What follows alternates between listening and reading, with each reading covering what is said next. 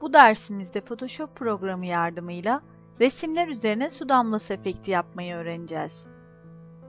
Bu çalışma için uygun bir resim açtıktan sonra Elliptical Marquee Tool ile yuvarlak küçük bir alan seçelim. Bu alanı sağ tıkladığımızda görüntülenen Layer ve Copy seçeneği ile seçimi yeni bir layer'a taşıyalım. Aynı layer üzerinde sağ tıklayıp Blending Options seçeneğini seçerek ya da layer üzerinde çift tıklayarak Layer Effect ile gölge düşümlerini ayarlayalım. Layer Effect penceresi üzerinde Drop Shadow, Inner Shadow, Inner Glow, Bevel and Emboss seçeneklerini seçelim.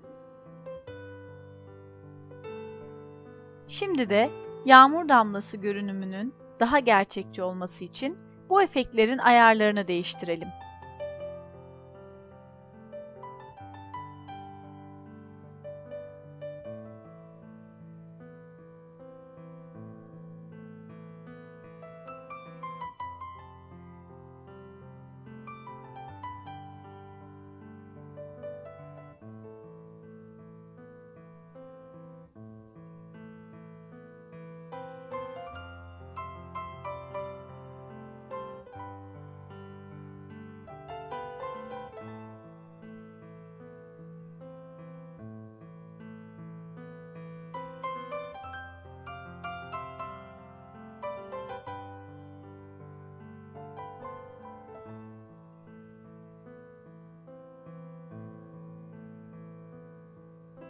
Gölge efektlerimizi de ayarladıktan sonra Layer'a ait kopyalar oluşturalım.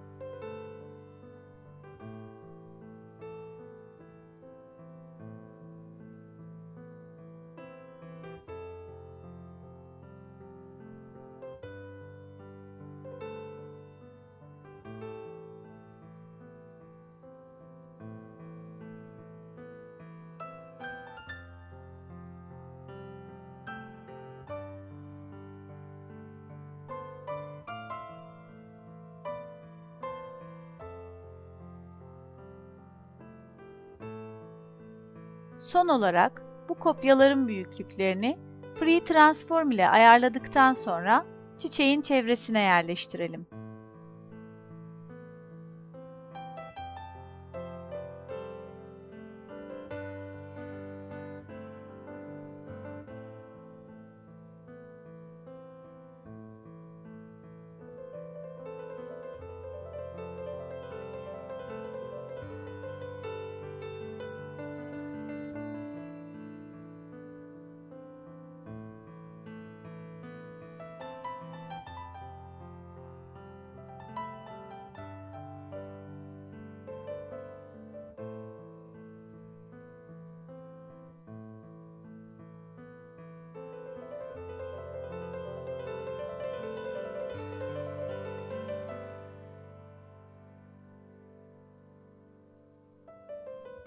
Özlem Temelli